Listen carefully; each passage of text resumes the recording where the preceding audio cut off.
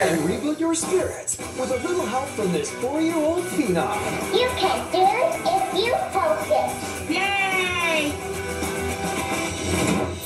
Next, Rachael.